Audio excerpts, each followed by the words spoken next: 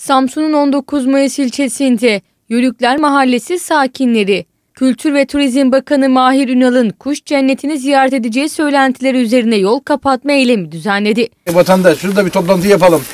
Nedir bu? Sizinle de şunu şunu yapacağız, bunu bunu yapacağız demiyor bize.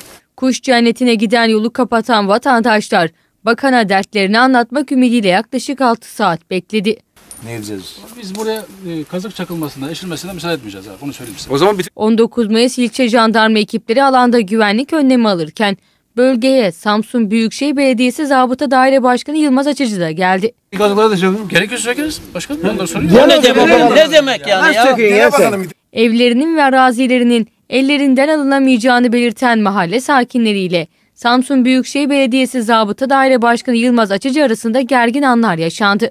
Açıcı, sit alanı içerisinde bulunan bölgede hiç kimsenin çit oluşturarak alan çeviremeyeceğini, aksi takdirde müdahale ederek sökeceklerini belirtti. Biz bu toprakların üzerinde yaklaşık 120 yıl, 120 yıldan beri bizim bu toprakların üzerindeyiz.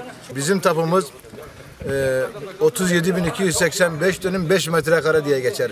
Konuyla ilgili açıklama yapan Samsun Büyükşehir Belediyesi Başkan Vekili Turan Çakırsa, bizim çitleri yıktığımız yer köylülerin yeri değil, kuş cenneti arazisi üzerinde bulunan kıl çadırı kış dolayısıyla kaldırmıştık.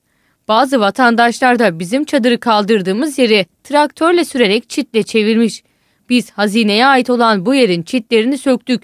Olayın eski yıkımlarla ve diğer vatandaşlarla ilgisi yoktur. Olay bundan ibarettir ifadelerini kullandı. Biz hayvancılık yapıyoruz. Hayvancılık yapmasak zaten acız. Biz ne yapacağız? Nereye gideceğiz? İşimiz yok.